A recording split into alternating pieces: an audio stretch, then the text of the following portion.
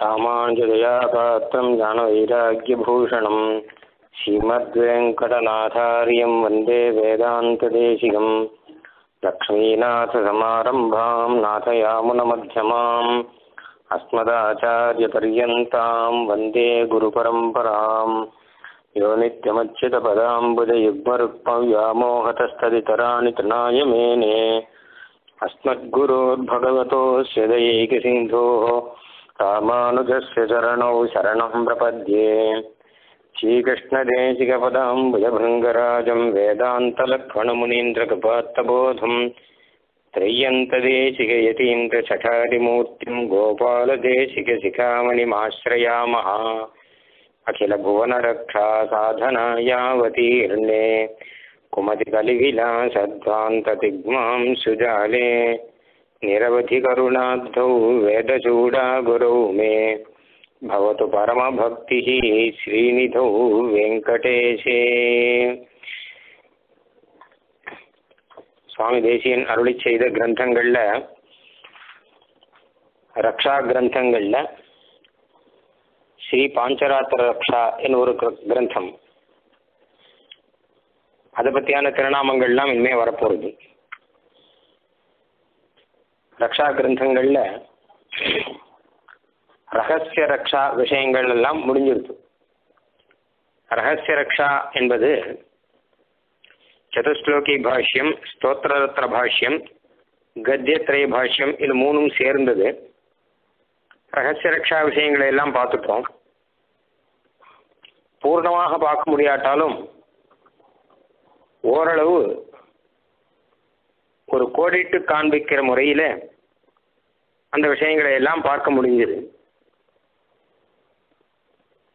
கடைசியா சி பாஞ்சராத்திர ரக்ஷா சாதிக்க போற நிக்ஷேப ரக்ஷா விஷயங்களும் ஆயிடுத்து.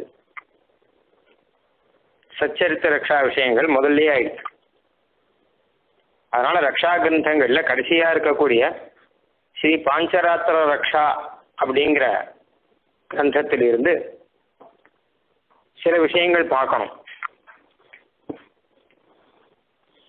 இந்த கிரந்தமானது ஸ்ரீ தேசிகனே அழகா பிரிச்சு ஸ்ரீ பாஞ்சராத்திர ரக்ஷா என்னும் பெயரும் வச்சு பிரசித்தமாக்கியிருக்கார். ஸ்ரீமத் ரகசிய திரேசாரத்தில் ஒரு இடத்துல சொல்லும்போது ஸ்ரீ பாஞ்சராத்திர ரக்ஷையில் உபபாதித்தோம் அப்படின்னு சாதிக்கிறேன் தேசிக்கிறேன் இந்த விஷயத்தை பற்றி ஸ்ரீ பாஞ்சராத்திர ரக்ஷையில நாம் சொல்லியாச்சு. நாம் சொல்லியிருக்கோம் அப்படிங்கிறத எடுத்து சொல்கிறேன் ஸ்ரீ பாஞ்சராத்திர ரக்ஷா அப்படின்னு சாதிச்சபடினால இது வெறும் பாஞ்சராத்திர ரக்ஷான்னு சொல்லக்கூடாது. ஸ்ரீ பாஞ்சராத்திர ரக்ஷா என்றுதான் கிரந்தத்தினுடைய திருநாமம் என்று ஸ்ரீ உத்தமூர் சுவாமி சாதிச்சிருக்கார். ஏன்னா வெறும் பாஞ்சராத்திரம் சொல்றதை காட்டிலும் ஸ்ரீ பாஞ்சராத்திரம் அப்படின்னு சொல்லணும். ரொம்ப விசேஷமான கிரந்தமானபடினால பாஞ்சராத்திர ஆகமங்கள்லாம் ரொம்ப விசேஷம். பாஞ்சராத்திர பிரக்ரியா அப்படிங்கிறது ரொம்ப விசேஷம். அதனால வெறுமை சொல்லக்கூடாதுன்னு தேசியனுடைய திருவுள்ளம் அப்படின்னு அவர் சாதிச்சிருக்கார். அநேக திருநாமங்கள் இப்போ அதுலேருந்து வரப்போகிறது இந்த ஸ்ரீ பாஞ்சராத்திர ரக்ஷா என்கிற கிரந்தத்திலிருந்து ஐநூற்றி இருபத்தஞ்சிலிருந்து ஆரம்பித்து அறுநூத்தி எண்பது வரைக்கும் கிட்டத்தட்ட ஒரு நூற்றி ஐம்பத்தஞ்சு திருநாமங்கள் அந்த விஷயம்தான் நம்ம பார்க்க போகிறோம் இனிமே. அதனால இனிமே வரக்கூடிய காலக்ஷேபம் ஸ்ரீ விஷயமா இருக்கும் நிறையா. அப்போ அத்தனை விஷயம் நமக்கு அதுல கிடைக்கும்படி சுவாமி தேசியன் சாதிச்சிருக்கார் அப்படிங்கிறத பார்க்கணும். பாஞ்சராத்திரம் அப்படின்னா பெருமாளுடைய ஆராதன பிரக்கிரியில ஒரு விதம். துவாம் பாஞ்சராத்திரிக நயேன பிருத்தக் விதேன வைகானசேன ச பதா நியதாதிகாராக சம்ஜா விசேஷ நியமேன சமர்ச்சயந்த பிரீத்தியா நயந்தி பலவந்தி தினானி தன்யாக என்று சுவாமி தேசிகனே சரணாகதி தீபிகையில் சாதிக்கிறார் பெருமாளை பற்றி சொல்லும்போது துவாம் பாஞ்சராத்திரிக நயன பிருத்தக் விதே பலவிதமான பாஞ்சராத்திர பிரக்கிரியை முறையிலும் வைகானச பிரக்கிரியை முறையிலும் உனக்கு பலர் ஆராதனம் செய்கிறார்கள். அதன் மூலம் அவர்கள் தன்னுடைய காலத்தை பக்தியுடன் அழகாக கழிக்கிறார்கள் அப்படின்னு சொன்னார். எம்பெருமானை கோயில்களில் திருவாராதனம் செய்யக்கூடிய பாக்கியம் எல்லாருக்கும் கிடையாது. எல்லாரும் செய்ய முடியாது. திவ்ய தேசங்கள்ல பார்த்தோம்னா ஒன்று பாஞ்சராத்திர ஆகமம் அது பின்பற்றி இருக்கும். இல்ல வைகானச ஆகமத்தை பின்பற்றி இருக்கும். திருவேங்கடமலை திருவல்லிக்கேணி முதலான திவ்ய தேசங்கள்ல வைகானச ஆகமம் இருக்கு. ஸ்ரீரங்கம் பெருமாள் கோயில் அதாவது காஞ்சிபுரம் முதலான திவ்ய தேசங்கள்ல திருக்குடந்தை முதலான திவ்ய தேசங்கள்ல பார்த்தா பாஞ்சராத்திர ஆகமம் அதை பின்பற்றி ஆராதன பிரக்கிரியா நடக்கிறது. இப்படி ரெண்டு பிரக்கிரியா இருக்கு. இந்த ரெண்டுமே விசேஷமானது. அதனால்தான் தாம் பாஞ்சராத்திரிகனையேன பிருத்தக் விதேன வைகானசேன பதா நியதாதிகாராக. ஆனால் இந்த ரெண்டுக்குமே நியதாதிகாரம். இவர்கள் தான் பண்ணலாம் என்று கணக்குண்டு. எல்லாரும் பண்ணிட முடியாது. வைகானச முறைப்படி திருவாராதனம் பண்ணணும்னா அந்த வைகானசத்தில் அந்த வம்சத்தில் வந்தவனா இருக்கணும். அப்பதான் பண்ண முடியும். பாஞ்சராத்திரம் முறைப்படி பண்ணணும்னா ஒன்று அந்த வம்சத்தில் வந்திருக்கணும். இல்ல தீட்சிதனா இருக்கணும். அதாவது பாஞ்சராத்திர தீட்சையாவது வாங்கிட்டு இருக்கணும். அப்பதான் திருவாராதனம் பண்ண முடியும். பாஞ்சராத்திர தீட்சையும் இல்லாமல் அந்த வம்சத்திலையும் வராமல் சாதாரணமா இருக்கிறவர்கள் திருக்கோயில்களில் போய் ஆராதனம் பண்ண முடியாது. அதனால நியதாதிகாராக அப்படிங்கிறார். மாதிரி பிருத்தக் விதேன அப்படிங்கிறார். அதாவது பாஞ்சராத்திர ஆகமங்கிறதே ஒன்று அப்படின்னு அதுலேயே பலவிதம் இருக்கு. ஸ்ரீரங்கத்தில் இருக்கக்கூடிய பாஞ்சராத்திர ஆகமம் வேற பெருமாள் கோயிலில் காஞ்சிபுரத்தில் இருக்கக்கூடிய ஆகமும் வேற. பிரக்கிரியை வேற வேறையா இருக்கு. பலவிதம் இருக்கான் பாம் பாஞ்சராத்திரிகன ஏன பிருத்தக் விதேன வைகானசேன ச பதா. அந்த மார்க்கத்தினால நியதாதிகாராக அந்தந்த தகுதி படைத்தவர்கள் அவர்கள் பாக்கியம் செய்தவர்கள். பெருமான தொட்டு திருமஞ்சனங்கள்லாம் பண்ணி அலங்காரங்கள்லாம் பண்ணி பெருமாளுக்கு ஆராதனம் பண்ணக்கூடிய பாக்கியம் அவர்களுக்கு தான் இருக்கு. பூசனை செய்கின்றார்கள் புண்ணியம் செய்தவாறே அப்படிங்கிற நம்மாழ்வார் யார் பெருமாளுக்கு பூசனை செய்கிறார்களோ கோயில்களில் தாமரை மலர்கள்லாம் கொண்டு வந்து பெருமாளுக்கு சமர்ப்பித்து அர்ச்சனைகள்லாம் பண்ணக்கூடிய பாக்கியம் கோயிலில் எல்லாருக்கும் கிடையாது. யார் இருக்காளோ அவள்லாம் புண்ணியம் செய்தவாறே அவள்லாம் என்ன பாக்கியம் பண்ணார்களோ அண்ணா அவர்களை கொண்டாடுறார் நம்மாழ்வார். அதே ரீதியில் தான் நம்மாழ்வாருடைய அந்த பாசுரத்தை பின்பற்றி தான் தேசிகளும் அவர்களை கொண்டாடுறார். பிரீத்தியானயந்தி பலவந்தி தினானி தன்யாக. அவர்கள்லாம் தன்யர்கள். பாக்கியம் செய்தவர்கள். ஏன்னா அவர்களுடைய காலங்கள்லாம் சபலமா இருக்கான் நல்ல பொழுது போறது. அவளுக்கு பெருமாளை திருவாராதனம் பண்றது மூலம்.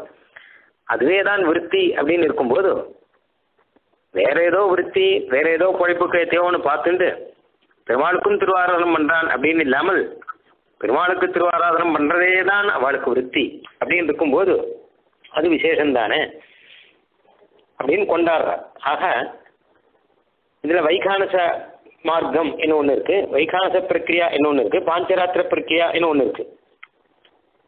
இதுல இந்த பாஞ்சராத்திர பிரக்கிரியா இதுல பாஞ்சராத்திர பிரக்கிரியில சில பேருக்கு சில சந்தேகங்கள்லாம் வந்திருக்கு ஒரு காலத்துல. இது பிரமாணமா இல்லையா? அப்படின்னு சொல்லிட்டு இதுல சர்ச்சையெல்லாம் நடந்திருக்கு. அதனால பா ஸ்ரீ பாஞ்சராத்திர ரக்ஷா. ஸ்ரீ பாஞ்சராத்திரத்தை காப்பாற்றி கொடுக்குறார். சுவாமி தேசிகன். தேசிகன் காலத்துக்கு முன்னாடியே இந்த பிரச்சனை இருந்திருக்கு.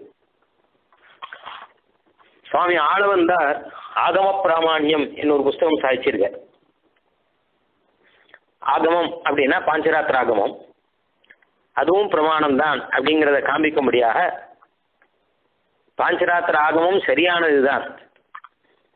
பின்பற்ற வேண்டியதுதான் அப்படிங்கிறத காண்பிக்கும்படியாக ஆகம பிராமான்யம் என்று ஒரு புஸ்தகமே சாதிச்சிருக்கார் ஆழ்வந்தர் இன்னும் கூட பல கிரந்தங்கள் உண்டு இந்த விஷயத்துல.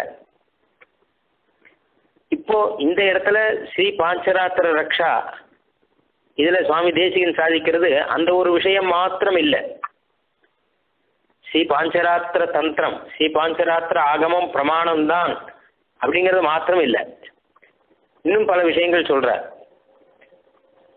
அதனால இதுல மூணு அதிகாரம் இருக்கு. இந்த ஸ்ரீ பாஞ்சராத்திர ரக்ஷையில மூணு அதிகாரமா பிரிச்சிருக்கார் தேசிகர். அதுல முதல் அதிகாரம் தான் சித்தாந்த வியவஸ்தாபன அதிகாரம் அப்படிங்கிறது. அதுதான் ஸ்ரீ பாஞ்சராத்திரம் பிரமாணம் அப்படிங்கிறத ஸ்தாபிச்சு அதனுடைய சித்தாந்தங்களவே விவஸ்தாபனம் பண்ற என்னென்ன சித்தாந்தம்? மந்திர சித்தாந்தம் தந்திர சித்தாந்தம் ஆகம சித்தாந்தம் அது மாதிரி சித்தாந்தங்கள் இருக்கு. அதையெல்லாம் ஸ்தாபனம் பண்றபடினால முதல்ல அந்த அதிகாரத்துக்கு சித்தாந்த வியவஸ்தாபன அதிகாரம்னு பெயர். ரெண்டாவது நித்திய அனுஷ்டான ஸ்தாபனாதிகாரம் இன்னும் ரெண்டாவது. அதுதான் நமக்கு ரொம்ப முக்கியமானது. அதான் நித்திய கர்மானுஷ்டானம் நம்ம வைஷ்ணவர்களுடைய நித்திய கர்மானுஷ்டானம் கிட்டத்தட்ட பாஞ்சராத்திர பிரக்கி அனுசரித்து வந்தது. ஒரு நாளை அஞ்சா பிரித்து பஞ்ச காலத்தில் பெருமாளுக்கு அபிகமனம் உபாதானம் இத்யா சுவாத்தியாயம் யோகம் என்ன? அஞ்சு காலமாக பிரித்து அஞ்சு காலத்தில் அஞ்சு கர்மங்களை செய்யும்படியாக ஒரு பிரக்கிரியை பாஞ்சராத்திர ஆகவும் காண்பிச்சிருக்கு. அதை பின்பற்றி நம்ம ஆச்சாரியர்கள்லாம் பஞ்சகால பராயணர்கள் என்று சொல்லும்படி எழுந்தருளி இருந்தார்கள் பஞ்சகாலம்னா அஞ்சா பிரிக்கணும் ஒரு நாளை. ஒரு நாள் அப்படி பிரித்து அந்தந்த காலத்தில் அந்தந்த அனுஷ்டானங்களை பண்ணிட்டு இருந்தா அந்த நாள் முழுக்க நன்னா சுகமாக போகும். பகவத் பரமாக போகும். இல்லை அப்படின்னா வேற ஏதோ காரியமாக இருந்துட்டு இருக்கும். அப்போ அனாவசியமாக விருதாவா போயின்னு இருக்கும். அதுக்கு இடம் கொடுக்காமல் அடுத்தடுத்து என்ன செய்யணும் அப்படிங்கிறத சாஸ்திரங்கள்லாம் எடுத்து சொல்ற வழக்கம். பாஞ்சராத்த ஆகமத்துக்கு முன்னாடியே இன்னும் பல சாஸ்திரங்கள் அப்படி இருக்கு. ஒரு நாளை எட்டா பிரிச்சு அந்த எட்டு பாகத்தில் என்னென்ன செய்யணும் அப்படிங்கிறத தக்ஷர் அப்படிங்கிற மகரிஷி எழுதியிருக்கார். அந்த மாதிரி மனு முதலான மகரிஷி எல்லாம் கூட இந்த விஷயத்தில் எழுதியிருக்கா பாஞ்சராத்திர ஆகமம் என்ன பண்றேன்னு கேட்டால் மொத்தமும் சீமன் நாராயணன் விஷயமாவே ஒருத்தன் வாழ்க்கை. பகவானுக்கே வாழ்க்கை அர்ப்பணிக்க வேண்டியவன். ஒரு சீவைஷ்ணவனாக இருக்கிறவன் ஒரு நாளை எப்படி கழிக்கணும் அப்படிங்கிறத நித்திபடியான அனுஷ்டானம் என்னங்கிறத பாஞ்சராத்திராகவும் அஞ்சா நாளை பிரித்து காமிக்கிறது நமக்கு. அபிகவனம் உபாதானம். அதை பற்றிய விஷயங்கள்லாம் சுவாமி தேசிகன் சாதிக்கிற அதிகாரம் தான் ரெண்டாவது அதிகாரம். நித்திய அனுஷ்டான ஸ்தாபனாதிகாரம் என்று பெயர். மூன்றாவது அதிகாரம் நித்திய வியாக்கியானாதிகாரம். இந்த இடத்துல நித்தியம் அப்படின்னா நித்தியம்னு ஒரு கிரந்தம். எம்பெருமானார் சீபாஷிகாரர் சாய்ச்சிருக்க நித்தியம் என்ன ஒரு கிரந்தத்துக்கு பெயர். தினமுமே பகவானுக்கு செய்ய வேண்டிய திருவாராதனம் பற்றியான கிரந்தம் அது. ஒரு நாளில் நாம் செய்யற அனுஷ்டானங்கள் அநேகம் இருக்கு. காலையில் ஸ்நானத்திலிருந்து ஆரம்பித்து ஸ்நானம் திருமணம் இட்டுக்கணும் அதுக்கப்புறம் சந்தியாவந்தனம் அதுக்கப்புறம் பிரம்ம யஜ்யம் முதலான காரியங்கள் அநேகம் மாத்தியானிகம் அநேகம் இருக்கு. கத்தி தூங்குற வரைக்கும். அதில் எல்லாத்த காசும் ரொம்ப முக்கியமானது எதுன்னு கேட்டான்னா பகவத் ஆராதனம். பெருமாளுக்கு திருவாராதம் தவறவே கூடாது. அதுதான் அங்கின்னு சொல்லலாம். அதுதான் பிரதானம். திருவாராதனம் பண்ணணும் அப்படின்னா ரொம்ப சுத்தமாக இருக்கணும். சுத்தமாக இருக்கணும் அப்படிங்கிறதுக்காக தான் சந்தியாவந்தனங்கள்லாம் வரும். சந்தியாவந்தனம் பண்ணணும்னா அதுக்கு சுத்தமாக இருக்கணும். அதுக்காக தான் ஸ்நானம் வரும். இப்படி ஒன்றுக்கு ஒன்று தொடர்பு உடையது. காத்தால சீக்கிரம் எழுந்து தீர்த்தம் ஆடி சந்தியாவந்தனம்லாம் பண்ணி சுத்தமான வஸ்திரங்கள்லாம் உடுத்திண்டு சந்தியாவந்தனம்லாம் பண்ணி அனுஷ்டானங்கள்லாம் பண்ணி திருவாராதனம் பண்ணினான் அப்படின்னா பூர்த்தி ஆறுதுன்னு அர்த்தம். அப்படி இல்லாம இதெல்லாம் பண்ணாம வேணுமா காலங்காத்தால எழுந்துப்பான் குளிப்பான் சுத்தமா இருப்பான் அப்படின்னா சுத்தமா இருந்து என்ன பண்ணுவாங்கிறது முக்கியம் இல்லையோ?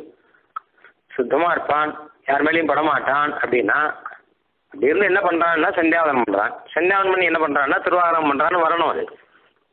ஏன்னா சந்தியாவந்தனமும் ஒரு ஆச்சாரம் தான் அதாவது சந்தியாவந்தனம் அப்படிங்கிற கர்மாவுக்கு தனியா பலன் கிடையாது. அப்போ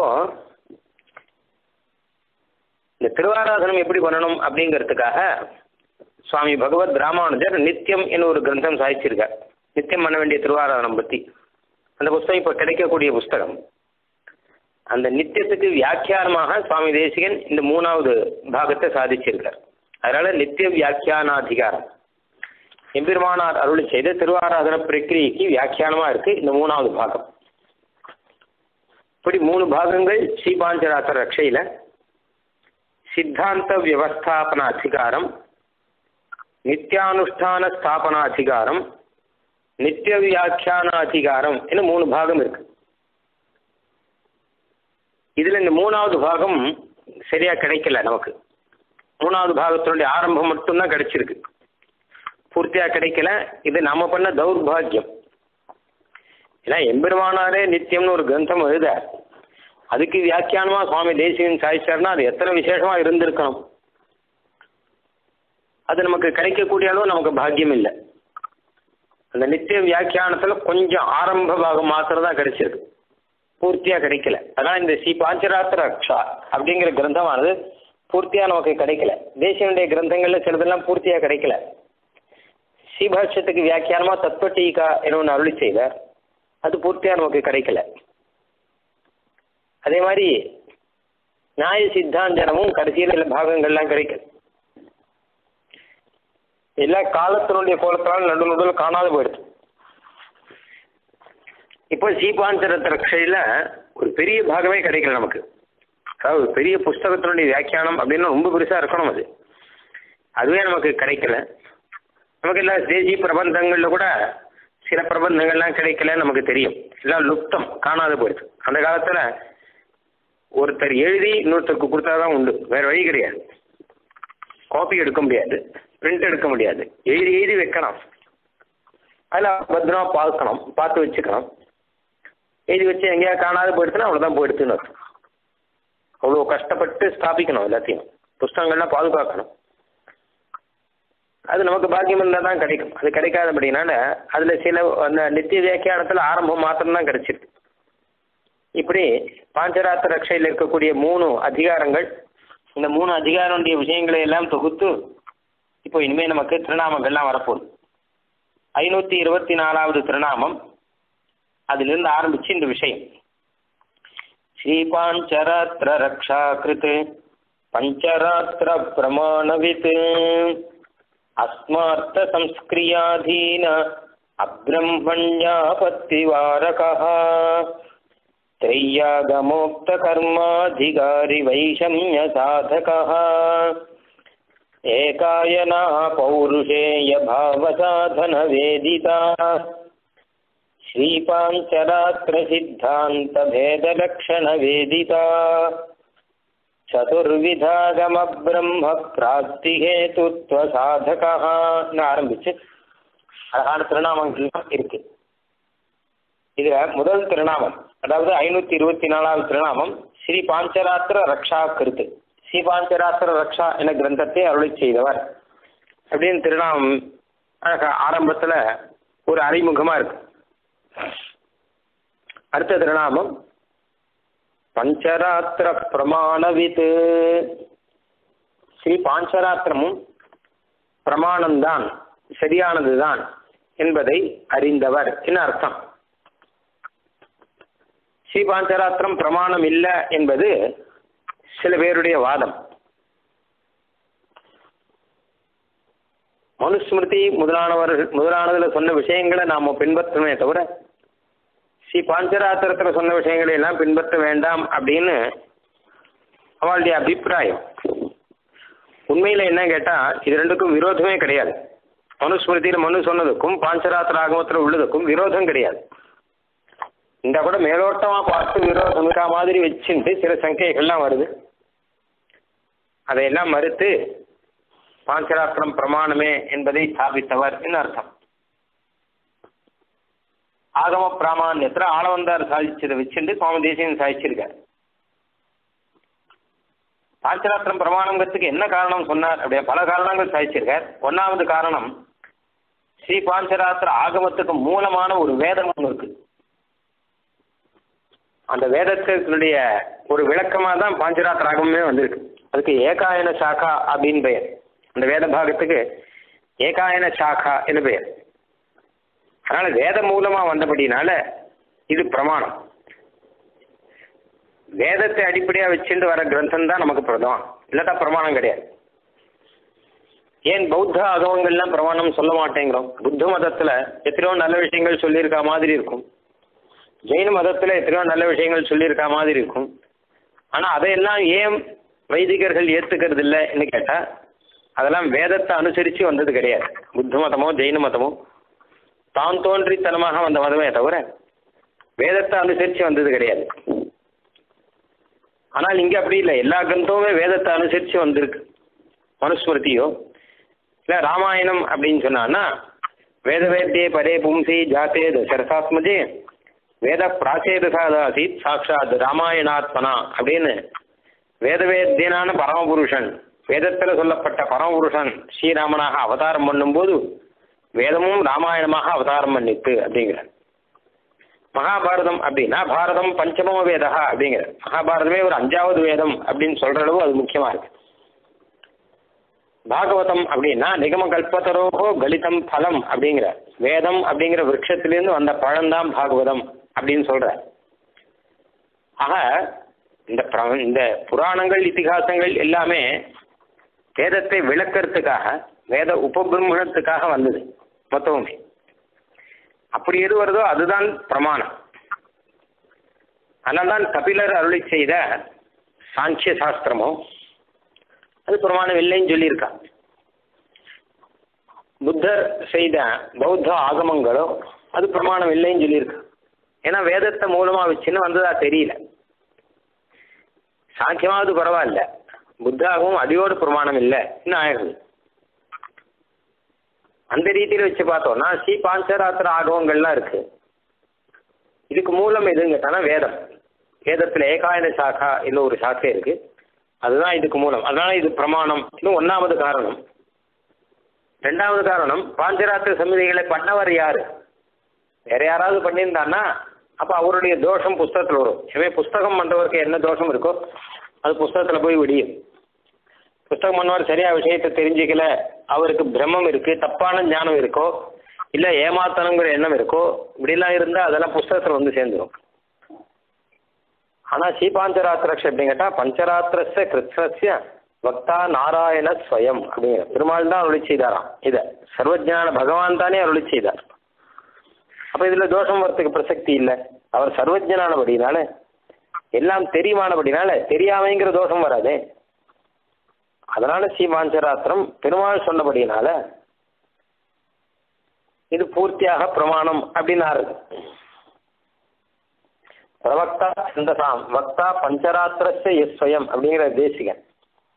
பிரவக்தா சந்தசாம் பெருமான் வேதங்களை எல்லாம் பிரவச்சனம் பண்ணார். பக்தா பஞ்சராத்திரஸ்ய பஞ்சராத்திரங்களை சொன்னார். வேதங்களை முதல்ல சொன்னான்னு சொல்லக்கூடாது. ஏற்கனவே இருக்கிற வேதங்களும் சொல்லி கொடுத்தார். சிவாஞ்சரத்னம் எப்படின்னா தானே ஆகவங்களை உண்டாக்கி கொடுத்தாராம் பெருமாள். புதுசாக உண்டாக்கி கொடுத்தாராம். அடுத்த மூணாவது காரணம் என்ன கேட்டானா மகாபாரதத்துல பஞ்சராத்திரம் பிரமாணம் அப்படிங்கிறது ஸ்பஷ்டமா இருக்கு. மகாபாரதம் எல்லாரும் ஒத்துண்ட புஸ்தகம் தானே? அதில் சீபாஞ்சராத்திரத்தை பற்றியான தகவல்கள்லாம் இருக்கு. அதில் உபரிசர வசூன்னு ஒரு ராஜா இருந்தார். அவர் பாஞ்சராத்திர ஆகமனிஷ்டரா இருந்தார் அப்படிங்கிற தகவலும் இருக்கு. பல இடத்துல பாஞ்சராத்திரத்தினுடைய பெருமையை சொல்லியிருக்கு. அடுத்த விஷயம் பிரம்மசூத்திரத்துல வியாசர் சொல்லும்போது பிற மதங்களை எல்லாம் மறுக்கும் போது பாஞ்சராத்திரத்தை மறுக்கல அவர். பாஞ்சராத்திரத்தை ஸ்தாபிச்சிருக்க கபில மதம் யோக மதம் வைசேஷிக மதம் நியாய மதம் பௌத்த மதம் ஜெயின மதம் மதம் இதெல்லாம் கண்டிச்சிருக்க மறுத்து இருக்க ஆனா பாஞ்சராத்திரத்தை வரைச்ச அதை மறுக்கல. அதனால வியாசர் ஒத்துன்னு இருக்க அதே வியாசர் தான் மகாபாரதம் பண்ணார்.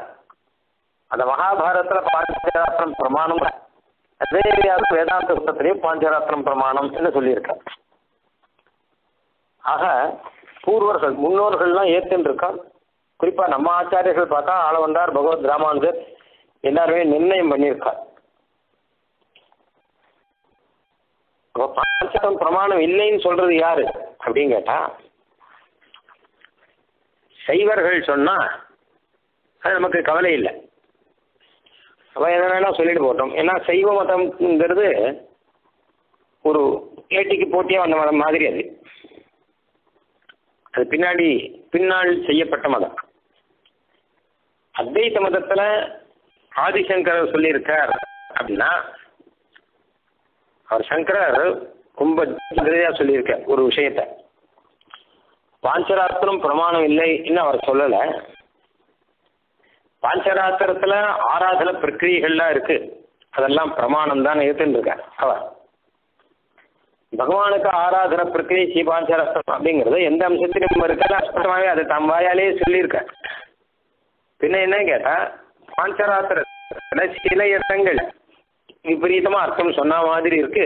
அதை மாதிரி நம்ம ஜாகிரதையா பார்க்கணும். அங்க அப்படி கிடையாது. என்ன? அவர் ஸ்ரீ சங்கர பாஷ்யத்தில் சாதிச்சிருக்க. இதை வச்சுன்னு பார்த்தோம்னா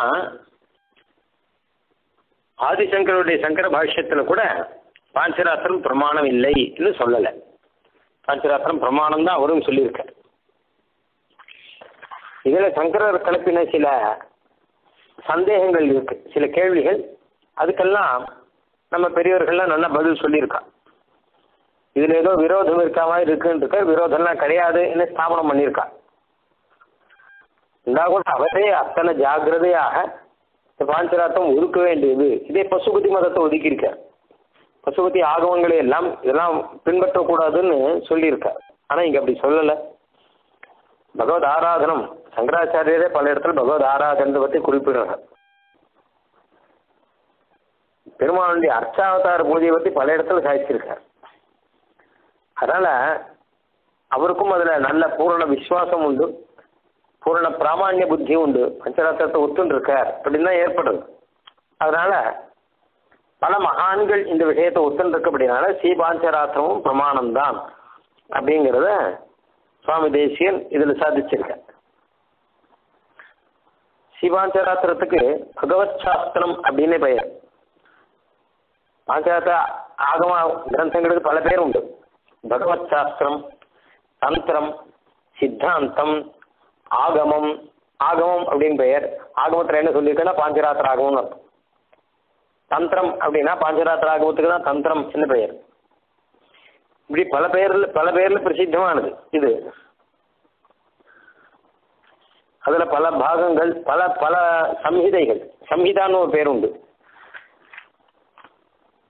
பாத்ம சம்ஹிதா பரம சம்ஹிதா ஈஸ்வர சம்ஹிதா அப்படின்னா ஆராதனங்களை சொல்லக்கூடிய கிரந்தங்கள் ஒன்று ஒன்றும் சம்ஹிதா சம்ஹிதா அப்படின்னு பெயர். அநேக சம்ஹிதா இருக்கான் சம்ஹிதைகள் நிறைய உண்டு. பாத்ம விஷ்ணு தந்திர காபிஞ்சல பிரம்ம சம்ஹிதா மார்க்கண்டேய சிதர சம்ஹிதா பரம சம்ஹிதா பாரத்வாஜ நாராயண தந்திர பேதேன இதில் சமிதியில் ரொம்ப முக்கியமானது ஒன்பது இருக்கு. அதனால நவதன் நவரத்னம் அப்படின்னு சொன்னா அப்புறம் அதையும் சுருக்கி ஒன்பது வேண்டாம் பஞ்சரத்னம் அப்படின்னு அஞ்சு சுருக்கி இருக்கா அதையும் சுருக்கி ரத்னத்ரயம் என்று சொல்றது. பாஞ்சராத்திரம் முக்கியமான மூணு சம்ஹிதைகள் சாத்வத சம்ஹிதா பௌஷ்கர சம்ஹிதா ஜெயாட்சிய சம்ஹிதா. இந்த மூணுத்துக்கும் ரத்னத்ரயம் அப்படின்னே பெயர். பரமசம்ஹிதா அப்படிங்கிறத பற்றி ஸ்ரீ ஸ்ரீபாஷ்யத்தில் எம்பெருமானாரே பரமசம்ஹிதா வச்சனங்கள்லாம் நிறைய எடுத்திருக்கார் அந்த மாதிரி இதுக்கு தந்திரம் அப்படின்னும் சித்தாந்தம் அப்படின்னும் ஆகமம் அப்படின்னு பெயர் சாத்வதம் அப்படின்னு பெயர். சாத்வதங்கிற பெயர் தான் புராணங்கள்லாம் அடிக்கடி வரும். சாத்வதம் அப்படின்னா என்ன கேட்டால் சத்வான் அப்படின்னு பெருமாளுக்கு பெயர். அந்த பெருமாளோடு சம்பந்தப்பட்டபடினால பெருமாள் சொன்னபடினால இதுக்கு சாத்வதம் அப்படின்னு பெயர்.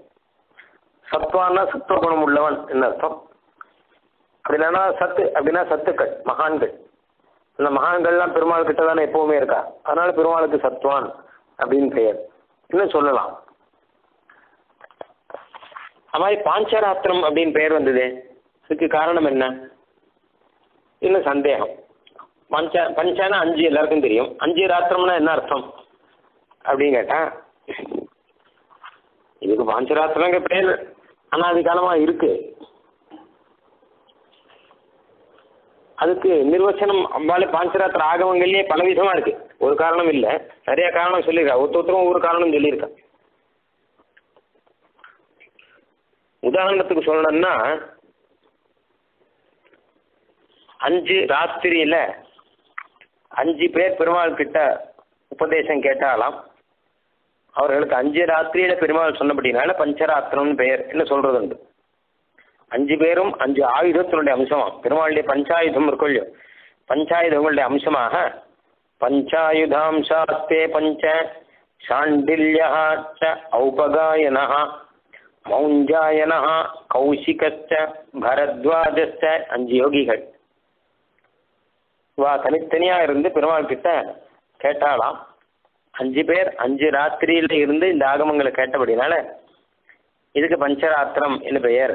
அப்படிங்கிறது தான் பிரசித்தமான காரணம். பலருக்கும் தெரிகிற காரணம். அது இல்லாம இன்னும் பல காரணங்கள் சொல்றது உண்டு உதாரணத்துக்கு அஞ்சு சாஸ்திரம். பஞ்சான அஞ்சு சாஸ்திரம் ராத்திரி அந்தே ராத்திரி ஆயிடுவான் இந்த பாஞ்சராத்திரத்தை வச்சு பார்க்கும்போது மீதி அஞ்சு சாஸ்திரங்கள்லாம் ராத்திரி ஆயிடுவான் பொதுவாக ஒரு சாஸ்திரங்கிறது ஞானத்தை கொடுக்குறபடினால அது பகல் மாதிரி இருக்கும். பகல் தானே ஞானத்தை கொடுக்கும். இருட்டுங்கிறது அஜானத்தை கொடுக்கும்.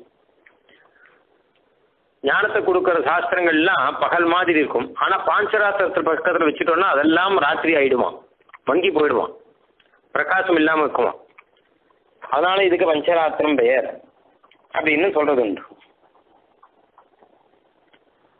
அஞ்சு நாள்ல அதுவா ஒரு நாளையே அஞ்சா பிரிச்சு அதுல செய்ய வேண்டிய அனுஷ்டானங்கள் செய்யறபடி சொல்றபடினால பஞ்சராத்திரன் பெயர் அப்படின்னு சொல்றது உண்டு. இந்த மாதிரி அநேக விதமான காரணங்கள் அந்தந்த சமிதிகளே சொல்லியிருக்கா.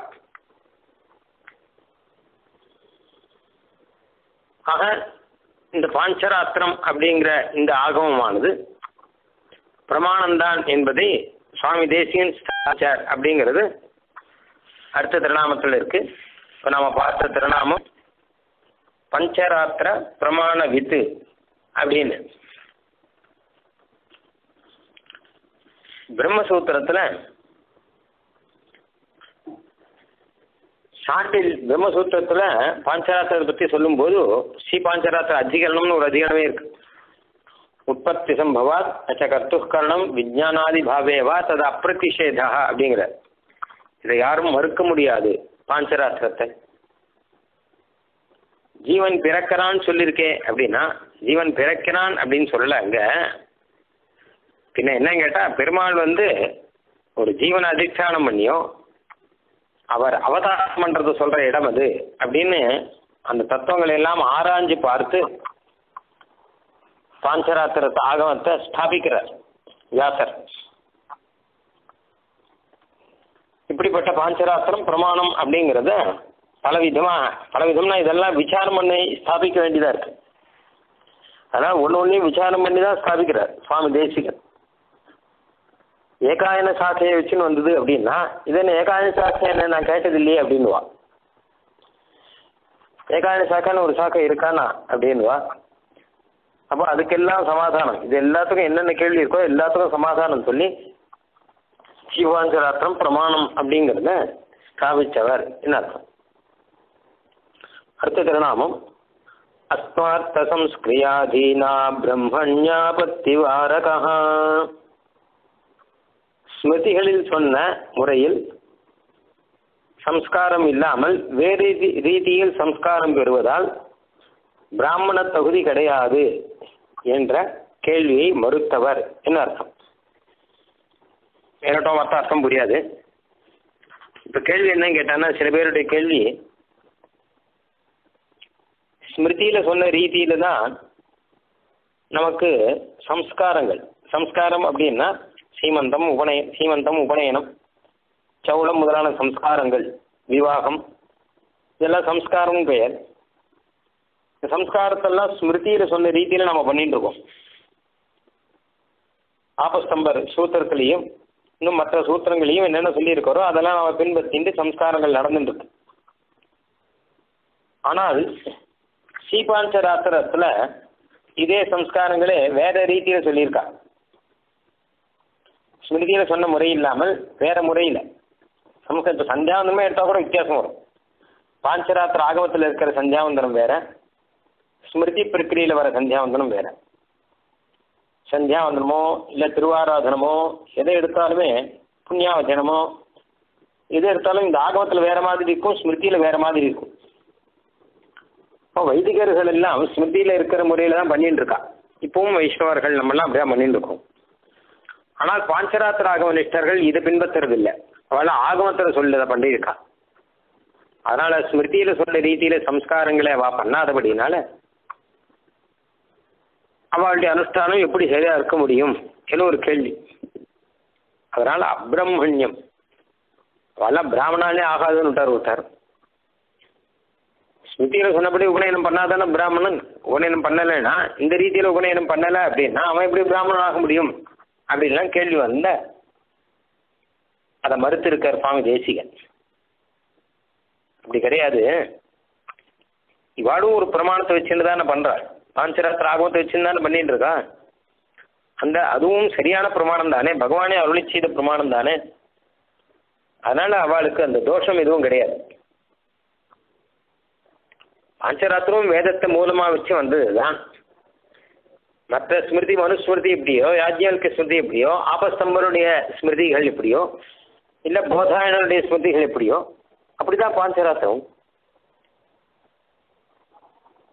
இப்ப ஸ்மிருதிகள்லயே பலது இருக்கும்போது அவளுடைய குலக்கிரமத்துல என்ன வருதோ அதுதான் பின்பற்றுறோம் ஆபஸ்தம்ப சூத்திரத்தை சேர்ந்தவர்கள்னு சில பேர் இருக்கா?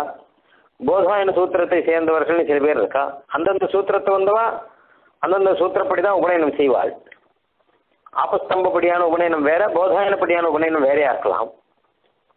தர்ப்பணத்தில் பார்த்தோம்னா ஆபஸ்தம்பருடைய தர்ப்பணம் வேற போதாயனாளுடைய தர்ப்பணம் வேறன்னு வித்தியாசம் இருக்கு.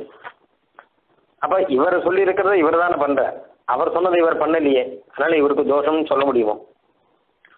ஆபஸ்தம்ப சூத்திரத்தில் வரக்கூடியவர் ஒருத்தர் போதாயனர் சொன்னதை பண்ணலையே அப்படிங்கிறபடினால இவர் பிராமணன் இல்லைன்னு சொல்ல முடியாது. இல்லை போதாயனர் சொல்றதை பண்றவர் ஆபஸ்தம்பர் சொன்ன ரீதியில் பண்ணலையேங்கிற அப்படினால அவர் பிராமணர் இல்லைன்னு சொல்ல முடியாது. பின்ன என்ன கேட்டால் அவரவர்கள் அவரவர்களுடைய குலக்கிரமத்தை அனுசரித்து அவ அனுஷ்டானத்தை செய்வார்கள். அதே போலதான் ஸ்ரீ பாஞ்சராத்திர ஆகம நிஷ்டர்களும் இன்னொருத்தர் சொன்னதை பண்ணலையேன்னு கேட்கக்கூடாது. இவளும் இவா குலக்கிரமத்தை இவர்கள் அந்த ஆகமப்படி உபநயனம் முதலான சம்ஸ்காரங்கள் எல்லாம் இவர்களுக்கு உண்டு. ஸ்மிருதியில சொன்னதை நீ பண்ணலையே அப்படின்னு கேட்க முடியாது. ஏன்னா ஸ்மிருதியிலே பலது இருக்கும்போது அவாவா குலக்கிரமம் தானே இதுல நியாபகம். ஸ்மிருதினா எந்த ஸ்மிருதியும் கேட்டா குலத்துல இதுவோ அதுதானே. இப்போ இவர்களும் அவர்களுடைய குலக்கிரமத்தில் வந்த ஏகாயன சாசையிலேருந்து வரக்கூடிய பாஞ்சராத்திர ஆகமத்தை பின்பற்றி உபநயனாத சம்ஸ்காரங்கள் எல்லாத்தையும் பண்ணபடியினால இவாளுக்கும் தோஷம் கிடையாது. தர்மசாஸ்திரத்துல எல்லாத்தையுமே சொல்லியிருக்கிறது எல்லாரும் பண்ணணும் அப்படிங்கிறது கிடையாது. அந்தந்த குலக்கிரமத்துல யார் யாருக்கு என்னென்ன இருக்கோ அதுதான் அவா பண்ணணும். ரிக்வேதிகள் சாமவேதிகள் யஜுர்வேதிகள் இவளுக்கெல்லாம் அநேக வித்தியாசம் உண்டு. இவா பண்ற சந்தியாவந்தனம் இருக்காது அவரை பண்றது. ஒரே வேதம் ஒன்னானாலுமே அதுல சூத்திர பேதங்கள்லாம் நிறைய இருக்கு. ஆனால் இவர் பண்றது அவர் பண்ணலையேன்னு கேட்க முடியாது. அவர் குலத்திறபடி அவர் பண்றார். அப்படிதானே சொல்லணும். அப்படிதானே இப்போ சம்பிரதாயம் இருக்கு. அதே ரீதியில அஞ்சராத்திர ஆகமம் அப்படிங்கிற அந்த ஆகமத்தை பின்பற்றி அந்த குலத்துல வந்தவர்களுக்கு அந்த ரீதியில தான் உபநயனமும் இன்னும் மற்ற சம்ஸ்காரங்களோ நடக்கும். அதை வச்சுன்னா அவளுக்கு தோஷம் உண்டு என்று சொல்லக்கூடாது. இன்னொருத்தர் சொன்னது செய்யலேன்னு தோஷம் உண்டுன்னு பார்த்தா எல்லாருக்குமே தோஷம் உண்டுன்னு ஆயிடும். அதனால அப்படி சொல்லக்கூடாது. அந்த குலத்தை அவர் அனுசரிச்சார்கள்னா சரி. இதுதான் வைதிகமான ஒரு மார்க்கம். அதனால திருநாமம் அஸ்மார்த்த சம்ஸ்கிரியாதீன அப்ரம்மண்யாபத்தி வாரகா. ஸ்மிருதியில சொன்ன சம்ஸ்காரம் உபநயனம் இவருக்கு இல்லை. அதனால இவர் பிராமணர் இல்லைன்னு சொல்றது தப்பு அப்படிங்கிறத சுவாமி தேசியன் ஸ்தாபிச்சாராம். திரையாக மோக்த கர்மாதிகாரி வைஷம்ய சாதகா. அப்படின்னு அடுத்த திருநாமம். சரி அப்படியானால் ஸ்மிருதிகள்ல சொல்லக்கூடிய கர்மங்களை யார் செய்யணும்? ஆகவங்கள்ல சொல்லக்கூடிய கர்மங்களை யார் செய்யணும்? இவன் அதை பண்ணலாமா? அவன் இதை பண்ணலாமா? அப்படின்னா அதிகாரி வைஷம்ய சாதுகா. இதுல அதுக்கு அதிகாரிகள் இருக்கா? அவளுக்குள்ள வித்தியாசம் இருக்கு. அதுக்கேற்ற மாதிரி தான் செய்யணும். ஒரு உதாரணம் பார்த்தா எல்லாருமே வேதத்துல இருக்கிறத எல்லாரும் செய்யணும்னு சொல்ல முடியாது. வேதத்துல பல யாகங்கள் இருக்கு. சொர்க்கம் வேணும்னாலோ இல்லை இங்கேயே புத்திர பசாதிகள்லாம் நிறைய வேணும்னாலும் அதுக்கு இதுக்கான யாகங்கள்லாம் நிறைய இருக்கு. இது எல்லாரும் செய்யணும்னு அவசியம் கிடையாது. சொர்க்கம் வேணுங்கிறவன் தான் அதை செய்யணும். புத்திரன் வேணும் அப்படிங்கிறவன் தான் புத்திர காமேஷ்டி பண்ணவே தவிர எல்லாரும் பண்ணணும் அப்படிங்கிறது கிடையாது. சொர்க்கம் வேணுங்கிறவன் தான் அந்த சொர்க்கத்துக்கான யாகம் பண்ணவே தவிர எல்லாரும் பண்ணணும் அப்படிங்கிறது கிடையாது. அதனால அது அதிகாரிகள் அப்படின்னு உண்டு. அந்தந்த அதிகாரிகள் அதை அதை பண்ணணும். இப்போ சிலர் என்ன பண்றாங்க கேட்டான்னா எனக்கு இந்த புத்திரன் பசு அப்படிங்கிறதும் சொர்க்கம் முதலான அல்ப பலனும் எனக்கு வேண்டாம். எனக்கு பகவத் ஆராதனம் தான் வேணும். அதுதான் எனக்கு பலனா வேணும் அப்படின்னா அவளுக்காக பாஞ்சராத்திரம் வந்திருக்கு. அதனால அதிகமான வித்யா முதலான கர்மங்கள்லாம் இதுல சொல்லியிருக்கு. அதனால நான் பெருமாளை ஆராதிச்சு மோட்சத்துக்கு நான் போக போறேன்னு ஆசைப்படுறவன் பாஞ்சராத்திரத்தை வரணும். சொர்க்கம் வேணும்னு ஆசைப்படுறவன் அவன் வேற ஸ்மிருதிகள்ல இல்ல வேதங்கள்ல சொன்ன காமிய கர்மங்களை செய்யணும் அப்படின்னு விவஸ்தை இருக்கு. அதனால அதிகாரத்துக்கு ஏற்ப அவளுக்கு அது இது அப்படின்னு ஆனப்படினாலும் இதுல எந்த தோஷமும் கிடையாது. எல்லா அதிகாரிகளுமே அந்தந்த அதிகாரத்துக்கு ஏற்ற மாதிரி செஞ்சா போதும். நூத்தர் செய்யறது தான் செய்யணும் அப்படிங்கிறது கிடையவே கிடையாது. அதனால பாஞ்சராத்திர அதிகாரிகள் அவ சூத்திரப்படி அவளுடைய சம்ஹிதைப்படி தான் எல்லாமே செய்வார்கள். அது ரொம்ப சரியான விஷயமா இருக்கும். நீ வேதத்துல சொன்ன மாதிரி நீ யாகங்கள்லாம் பண்ணலையே அவகிட்ட கேட்க முடியாது. ஏன்னா அவர்கள் அதுக்கு அதிகாரிகள். ஒரு உதாரணம் பார்த்தோம் முன்னாடியே. பிஷ்ட பசு அப்படின்னு ஒன்று இருக்கு.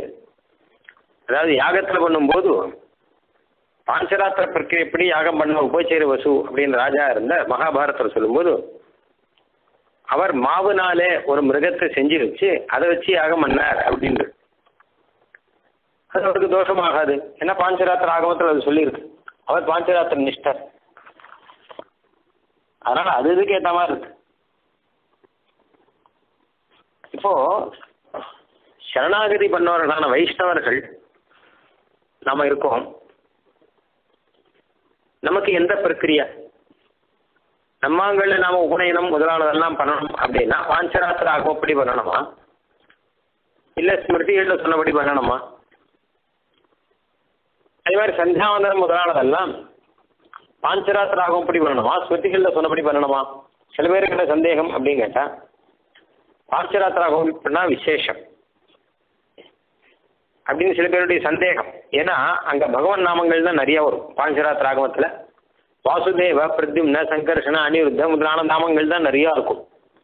ஸ்மிருதியில சொன்னபடி பார்த்தோம்னா பகவானுடைய நாமங்களும் வரும். கேசவ நாராயண மாதவா இதெல்லாம் ஆச்சமனத்திலே வரும். இது இல்லாம சர்வாபியோ தேவதாபியோ நமோ நமஹா அப்படின்னு வரும்.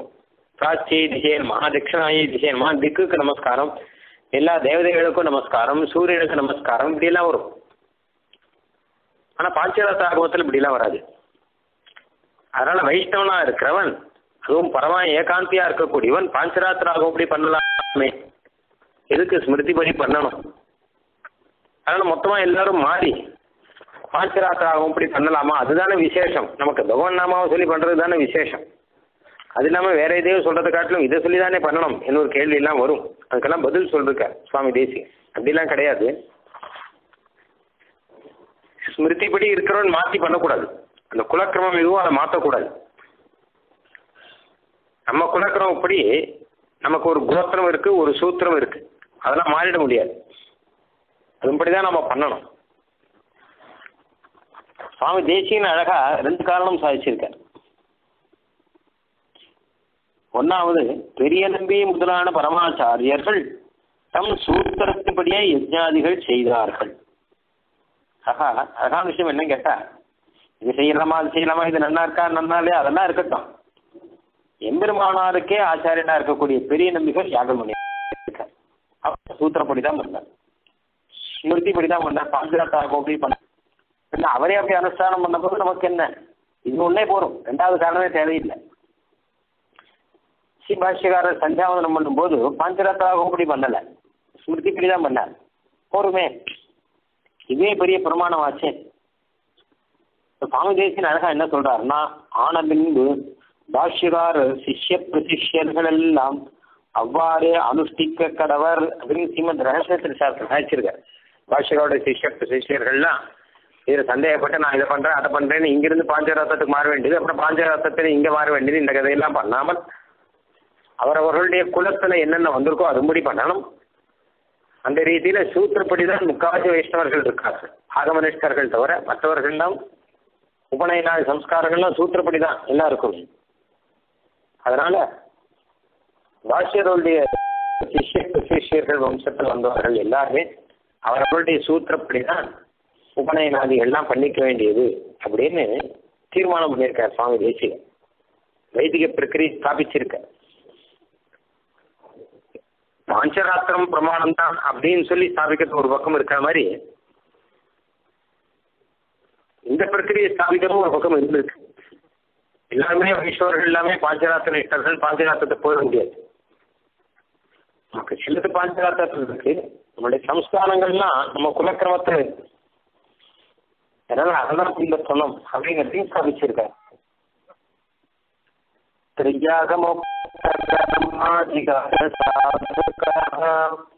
அதனால சொன்ன கர்மங்களுக்கு அதிகாரி வேற ஆகமங்கள் சொன்ன கர்மம் அதிகாரி வேற அவரவர்கள் அவரவர்களுடைய குலக்கிரமப்படி செய்யணும் பாஞ்சராத்திர ஆகம் அப்படி பின்பற்றுவார்கள் அந்த குலத்தை உபநயனாக செய்து கொள்ளலாம் மற்ற வேதத்தில் சொன்னபடி ஸ்மிருதிகளில் சொன்னபடி சம்ஸ்காரங்கள் எல்லாம் பெற்றுக் கொள்ளலாம் அப்படிங்கிறத ஒரு வித்தியாசத்தை ஸ்தாபித்தார் இது ரொம்ப முக்கியமானது. ஏன்னா எதுவுமே மாறிடக்கூடாது. வேதாத்தியனத்துலேருந்து ஆரம்பம். வேதாத்தியனமே அவன் எந்த வேதத்தை சேர்ந்தவனோ அந்த வேதத்தை அவன் அத்தியனம் பண்ணுவான். சுவாத்தியாயா அப்படின்னு பேர் சுவாத்தியானம் தன் குலக்கிரமப்படி வந்த ஒரு வேதம் ரிக்வேதமாக இருந்தால் ரிக்வேதத்தை அத்தியனம் பண்ணணும் யஜுர்வேதமாக இருந்தால் யஜுர்வேதத்தை அத்தியனம் பண்ணணும் சமவேதமாக இருந்தால் சமவேதத்தை அத்தியனம் பண்ணணும் இவன் குலக்கிரமத்தில் ரிக்வேதம் ஆனால் படிச்சது சமவேதம் அப்படின்னு இருக்கக்கூடாது. அது ரொம்ப ஆசையாக இருந்தான்னா தன்னுடைய குல கிரமப்படி வந்தக்கூடிய வேதத்தை முதல்ல படிச்சுட்டு அப்புறம் வேணா இன்னொரு வேதம் படிச்சுக்கலாம் அப்புறம் வேணா மூணு நாலு வேதம் கூட படிக்கலாம். உன்னால் முடிஞ்சா. ஆனால் இதை விடக்கூடாது அப்படின்னு இருக்கோ இல்லை அதே மாதிரி அவரவர்கள் அவர்கள் குலக்கிரமத்தை விடக்கூடாது. பாஞ்சராத்திர ஆகம நிஷ்டர்கள் அந்த குலக்கிரமப்படி பாஞ்சராத்திர ஆகமத்தில் வந்தவர்கள் அவர்களுக்கு வந்து உடைய சம்ஸ்காரங்கள் அந்த பாஞ்சராத்திர ஆகமப்படி இருக்கும். அது இல்லாதவர்களுக்கு உபயதா சம்ஸ்காரங்கள்லாம் பாஞ்சராத்திரா அப்படி இருக்காது ஸ்மிருதிப்படி இருக்கும் அப்படின்னு ஸ்தாபிச்சார். அடுத்ததெல்லாம் ஏகாயனா பௌருஷேய பாவசாதன வேதிதா. அது ஒரு ஆக்ஷேபம் பாஞ்சராத்திரத்துக்கு மூலமான வேதம் இது அப்படிங்கிறத ஏகாயன சாக்கா அப்படின்னா ஏகாயன சாக்கா இதெல்லாம் கேள்விப்பட்டது இல்லையே. இது வேதத்தை சேர்ந்தது யாராவது புருஷர் பண்ணி வேதத்தில் சேர்த்து விட்டாரா பின்னாடி? அப்படிதான் கேட்டால் அதெல்லாம் கிடையாது. இது நித்தியமானது. வேதம் தான் இது மனுஷன் பண்ணி வேதத்தில் சேர்த்தது இல்லை அனாதையாகவே வேதத்திலே இருக்கக்கூடியது. இந்த ஏகாயன சாகா அப்படின்னு. எல்லா வேத பாவங்களுமே நித்தியமானது அனாதையா இருக்குன்னு சொல்ற மாதிரி இந்த ஏகாயன சாக்கையும் நித்தியமா இருக்கு. அனாதையா இருக்கு. இந்த விஷயத்த பல ஆச்சாரியர்கள் சாதிச்சிருக்கலாம். சுவாமி தேசி நிறைய பேர் திருநாமங்கள் எடுத்திருக்காங்க. ஆகம்தார் வந்து ஆகம் பிராமணத்துல சாதிச்சிருக்கேன் அப்படிங்கிறது இருக்கட்டும் போஜராஜன் பலதேவாச்சாரியர் இதெல்லாம் சுபாஜாச்சாரியர் சொல்லி இவர்கள்லாம் கூட ஏகாயன சாக்கையை ஒத்துந்துருக்காங்க அது வேதம் தான் அப்படின்னு சொல்லியிருக்கான் அதனால ஏகாயன அப்பௌருஷேய பாவ சாதன வேதிதா. இது அப்பௌருஷே ஏகாயன சாக்கைங்கிறது மனுஷன் பண்ணது இல்லை பெருமாள் பண்ணதும் இல்லை இது நித்தியமானது. வேதம் போல இது ஆ வேதமே தான் இது. இதன் மூலமாக வச்சிருந்து பாஞ்சராத்திர ஆகமம் வந்திருக்கு. அதுவும் பிரமாணமானதுதான் அப்படிங்கிறத ஸ்தாபிச்சார் அடுத்த என்னாகும் ஸ்ரீ பாஞ்சராத்த சித்தாந்த வேத லட்சண வேதிதா. அடுத்தது சதுர்விதாகம பிரம்ம பிராப்தி ஹேதுத்வ சாதக. சித்தாந்த சம்ஹிதா தத்தத் சாங்கதீய பரிகார விசே இதுல ஸ்ரீ பாஞ்சராத்திர சித்தாந்தங்களை பற்றியான விஷயங்கள்லாம் இனிமே வரப்போகுது. சித்தாந்தம் அப்படின்னா பாஞ்சராத்திரத்துக்கே சித்தாந்தம் தான் பெயர் பொதுவாகவே அந்த ஆகமங்களுக்கே சித்தாந்தங்கள் அப்படின்னு பெயர் உண்டு. கடல் நாலு விதமான சித்தாந்தங்களா பிரிச்சிருக்கா ஆகம சித்தாந்தம் மந்திர சித்தாந்தம் தந்திர சித்தாந்தம் தந்திராந்த சித்தாந்தம் என நாலு இருக்கு. ஆகம சித்தாந்தம் அப்படிங்கிறது நாலு வியூகமூர்த்தி வாசுதேவன் பிரத்யும்னன் சங்கரசன் அனிருத்தன் என்ன நாலு வியூகமூர்த்திகளை உபாசனம் பண்ணி அது மூலம் மோட்சத்துக்கு போகக்கூடிய வழியை சொல்லுவது மந்திர சித்தாந்தம் அப்படிங்கிறது வியூகமூர்த்திகள் மாதிரி கேசவாதி மூர்த்திகள் இருக்கா இல்லையோ? அதுவும் ஒரு வியூக வியூக பேதம்ங்கிறார் சுவாமி தேசிகர் கேசவ நாராயண மாதவா முதலான பன்னெண்டு வியூகமூர்த்திகள் இருக்கா? இன்னும் பல மூர்த்திகள் இருக்கா? அவர்களை எல்லாம் பூஜிக்கிற பிரகாரத்தை சொல்றது மந்திர சித்தாந்தம் என்று பெயர்? தந்திர சித்தாந்தம் அப்படின்னா இன்னும் எத்தனையோ பகவானுடைய ரூபங்கள் திருவாபரணங்கள் திரு ஆயுதங்கள் இதெல்லாம் சேர்த்து வச்சு பெருமாளுடைய ரூபங்களை எல்லாம் பூஜிக்கிறது பற்றி தந்திர சித்தாந்தம். அதுதான் இப்போ இருக்கு. தந்திராந்திர சித்தாந்தம் அப்படிங்கிறது பகவானே இன்னும் பல விசித்திரமாக நரசிம்மனாக ஹயகிரீவனாக நரசிம்மன் சிம்ம முகமா இருக்க ஹயகிரீவன் அப்படின்னா குதிரை முகமா இருக்க. இது மாதிரி பெருமாளுக்கு என்னென்ன விசித்திரமான திருமேனிகள்லாம் இருக்கோ அதையெல்லாம் தனியா பூஜிக்கிறத பத்தியான விசேஷமா சொல்றது தந்திராந்திர சித்தாந்தம் அப்படின்னு பெயர். இப்படி நாலு விதமா சித்தாந்தம் இருக்கிறதா சொல்றது உண்டு. இதே கொஞ்சம் மாத்தி மாத்தி சொல்றதும் உண்டு. பல ஆகமங்கள்ல பல விதமா இருக்கு. ஸ்ரீ புஷ்கரத்துல இப்படி சொல்லியிருக்கு. இதே கொஞ்சம் மாத்தி வேற விதமாகவும் மாத்தி சொல்றது உண்டு எப்படியும் ஒரு நாலு விதம் இருக்குன்னு தெரிஞ்சுன்னா போதும். சதுர்விதாகமப்ராம் பிரம்ம பிராப்தி ஹேதுத்வ சாதகா இந்த நாலு விதமான ஆகமங்கள்ல நிஷ்டனா இருந்தான்னா விசேஷமா இதுன்னு சொன்ன உபாசனங்கள்லாம் செஞ்சா கூட பிரம்ம பிராப்தி கிடைக்கும் மோட்சம் கிடைக்கும். அப்படிங்கிறத சாதித்தவர். மோட்ச பலனும் கிடைக்கும்.